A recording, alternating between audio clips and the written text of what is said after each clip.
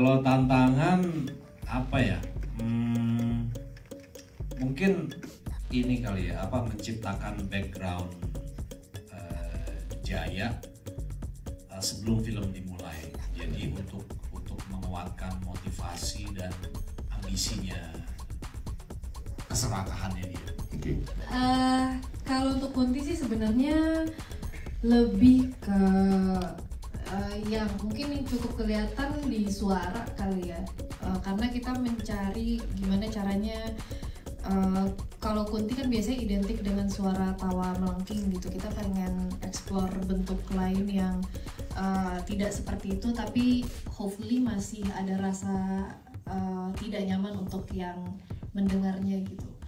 Jadi lebih sana dan sebenarnya eh, kalau untuk kunti yang form 1 banyak bantuan dari wardrobe juga sih karena tim wardrobe eh, dan makeup itu mereka risetnya cukup panjang. Yang eh, tim wardrobe itu setahu aku mereka emang sengaja riset karena kan si Kunti ini ceritanya dia hidup di tahun seribuan seribu sekian.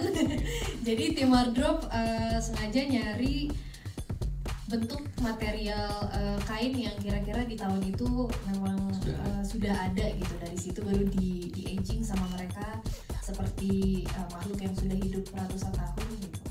Jadi eh, banyak dibantu transformasinya juga dari tim wardrobe dan makeup juga. Ya jadi emang sebelum syuting tuh tiga bulan aku sama Ari yang stamina nya lebih lemah dibandingkan yang lain. Kita eh, ada boot camp.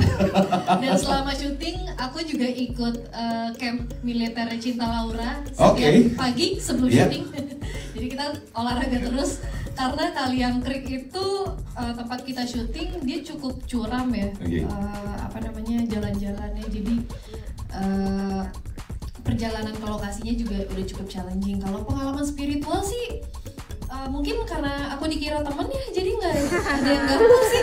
Emang kadang-kadang gitu suka biasanya cuek aja kalau oh udah sama ini mah biar aja lah udah gitu Iya, ya. eh, mungkin udah terlalu bonding ya. Kalau Ari chemistry udah bagus. Kalau Ari nih kayaknya yang banyak diganggu Em, Iya bener kata Sheila juga nih sambil nambahin yang tadi. Kan kolaborasi kan semuanya jadi Tapi nggak mau nengok belakang, tapi nengok ke depan aja. lu diputihin gue dihitemin kan. Oh, bedanya iya, kalau dia kan eh, apa tuh tepung beras rose brand kan? Sorry brand. Sorry sorry, sorry.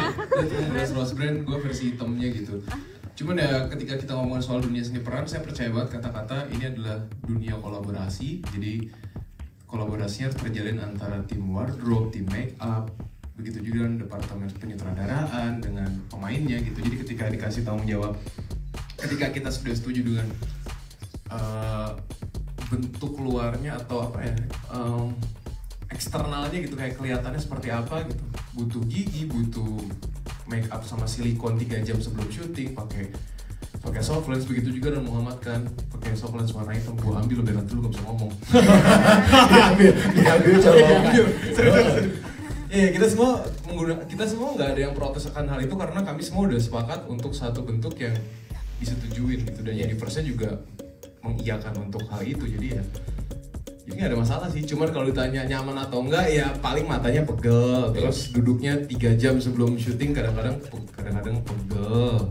Terus kalau ditemin gue lebih kasih ngeliat tim make upnya sih yang lebih niat nempelin silikon ngasih warna hitam se sebadan Iya. gitu kan. Jadi tiga jam persiapan untuk jadi Drew di warna hitam. Ditemin beres syuting dibersihin juga kurang lebih satu setengah jam dua jam. Buat ngebersihin doang ya. iya jadi kurang lebih sekitar 4 jam dan Encim cuma ngasih ayam rebus kebayang gak sih? tetap dibahas, tetap dibahas. Tiga ekor Oh, tapi tiga ekor lumayan loh itu loh.